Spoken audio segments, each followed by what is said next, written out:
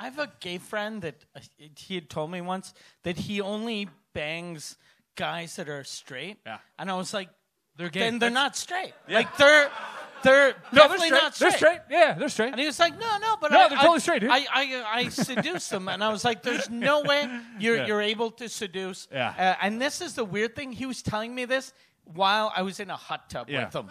So, Yeah. but Perfect. You're the guy. he came this close to getting me, but he He's, never he's got me. jerking Mike off. He's like, "Are you sure?" And Mike's like, "Yeah, you can't seduce me. You can't seduce me." They do love that though. Yeah, but they, he he didn't even come close to Yeah. having sex. Not even me. close? Not even close. Not even a little bit. no, Just a tip. no, no, no. Not even the tip. Most of my friends are gay. Yeah. That's what I think. That's what.